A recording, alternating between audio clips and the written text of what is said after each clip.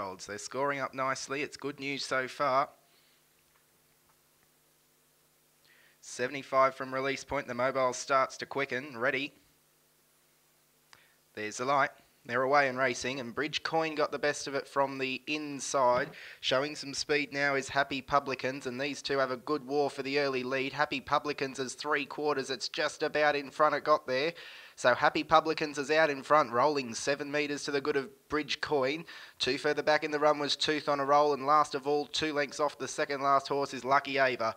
Lead time of 8.6. The two-year-old stride towards the 1300 with Happy Publicans in front by five metres to the good of Bridge Coin. The gaps start to close in the field. There's only four lengths covering them as Tooth on a roll is worse than midfield and Lucky Ava's last.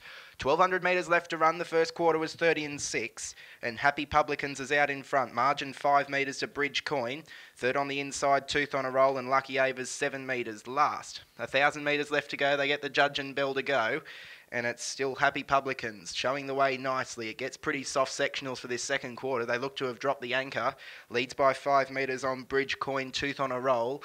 And last of all is Lucky Ava. So Anthony Frisby, fresh off his second place in the Hunter Cup on our Uncle Sam, driving confidently on Happy Publicans. He got the second quarter in 32 seconds even. So with the half in 62.3. They're about to up the ante now with 700 to go as uh, Happy Publicans leads out by five metres on Bridge Coin and then seven metres to Tooth on a Roll, which is just being reined up to try and keep its mind on the job at the 550.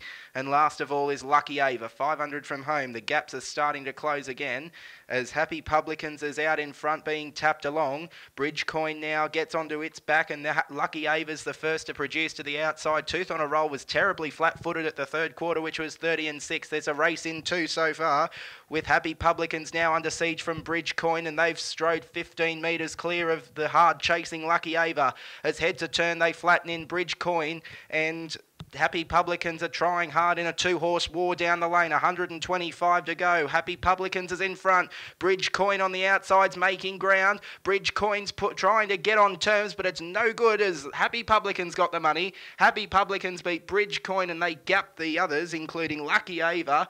And it was about 10 metres in front of the last horse, which was Tooth on a Roll 29 1. The mile rating 201.6.